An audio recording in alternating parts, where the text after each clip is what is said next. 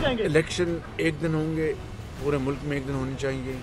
ये बात याद रखें कि पंजाब के हवाले से जो माजी की दिहाइयों में जो एक गलत तासर जो कायम किया जा रहा था, वो अल्लाह ताला के फजल करम से बहुत हद तक ज़ायल हो चुका है। मगर अब दोबारा देखिए, मैंने हमेशा कहा कि पंजाब बड़ा भाई नहीं है।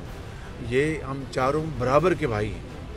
और इस हवाले से अब खाली पंजाब में इलेक्शन करा के पाकिस्तान के खिलाफ साजिश की जा रही है। पंजाब पंजाब के खिलाफ साजिश की जा रही है। और इसलिए अगर हमने इसको इस साजिश को ख़त्म करना है तो पूरे मुल्क में एक दिन इलेक्शन होना चाहिए।